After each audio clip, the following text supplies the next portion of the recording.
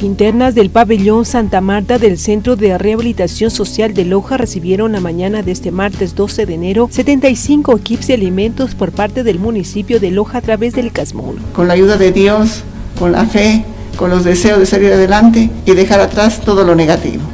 Estamos aquí para darles un abrazo fraterno, para decirles estamos junto a ustedes. Cuando ustedes recibían esa fundita, siempre tuvieron palabras de bendición y agradecimiento. Gracias porque un corazón agradecido engrandece más corazones y engrandece en este caso una ciudad.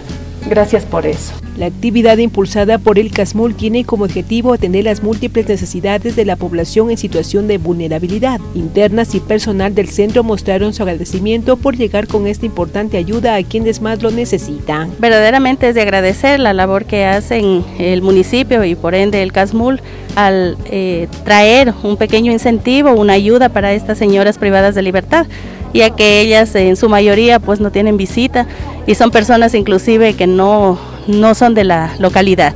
El evento fue un momento propicio para agradecer a la municipalidad por los talleres de circo social que viene recibiendo las internas como medio para estimular la creatividad y capacidades artísticas de las mismas, así como mejorar su parte afectiva, emocional y de comportamiento. Es una historia de una de las compañeras que se pone en, en escena con teatro y circo para disfrute del, personal. Y es una obra que se realiza aquí en la ciudad, no se ha logrado antes, lo hicimos hace un, hace un tiempo en la ciudad de Guayaquil con un centro de rehabilitación también eh, y da buenos resultados. La historia El laberinto se presentará en el Teatro Bolívar.